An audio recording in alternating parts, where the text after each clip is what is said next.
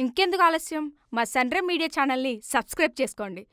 చిన్నప్పుడు స్కూల్లో బెల్ కొట్టాలని అందరూ చాలాసార్లు అనుకుంటారుగా. కింద బెల్ ఐకాన్ ఉంటుంది. కొట్టండి హే.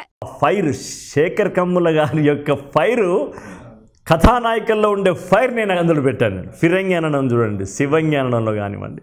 అది శేఖర్ కమ్ముల గారి హీరోయిన్స్ పాత్రల సృష్టిలో ఉన్నటువంటి ఫిలాసఫీ అది.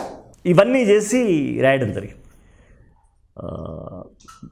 దేవుడి దయ అనుకోండి.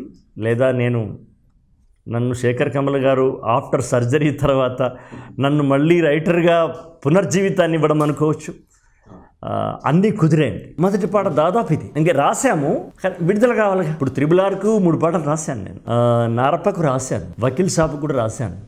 ఇట్లా అన్నిటికీ రాశాను. కానీ విడుదలైన ఆఫ్టర్ పదమూడు నెలల అజ్ఞాతవాసం తర్వాత విడుదలవుతున్నటువంటి ఒక అదనమాట. ఆమె అనగానే ఆమె మనకు కళ్ళ ముందు నిలబడుతుంది కదా. ఆమె ఏ పదాన్ని ఎలా ఎక్స్ప్రెషన్ చేస్తుందో కూడా మనం ఊహించుకుంటాం కదా.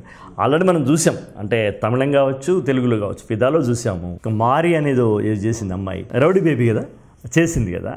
ఆమె పోతే నాకెందుకు ఆమె? ఆమెతో నేను స్వయంగా కూడా ఒకసారి షూటింగ్లో మాట్లాడాను. ఇది ఫిదా? ఆ అమ్మాయిలో ఒక ఉన్న ఒక ఒక ఫైర్ నాకు నచ్చింది బాగా.